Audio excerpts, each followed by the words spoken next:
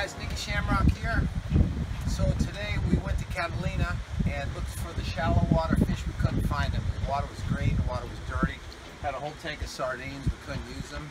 The key today was 30 pound test and uh, double dropper loop. We ended up doing pretty decent on these uh, rockfish as you can see here.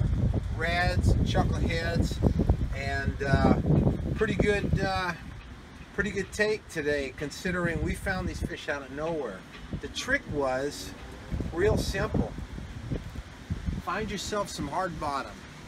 Look away from these reefs as the reefs go into the deep water in between the reefs and the deep water. So you've got 60, 80 feet, which goes down to about 300 or so.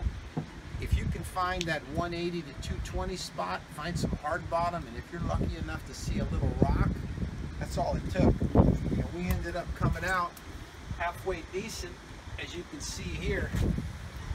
There's two of our bad boys right there. Not a bad day. Hey, thanks for watching. We'll keep you posted next time.